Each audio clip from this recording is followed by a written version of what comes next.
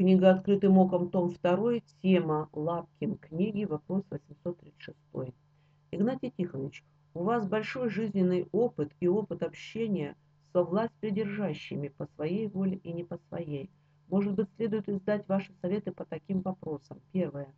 Как нужно приготавливаться к аресту? Второе. Как вести себя при аресте и обыске?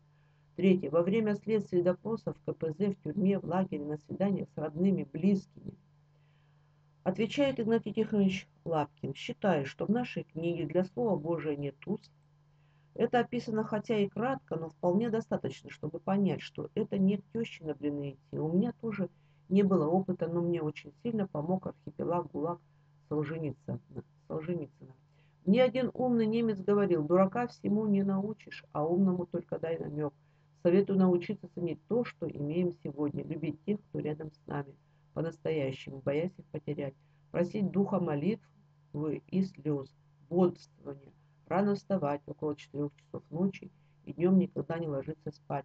При дурном прокуренном воздухе это страшно тяжело, останавливается сердце, режет глаза, задыхаешься. Но не ложись.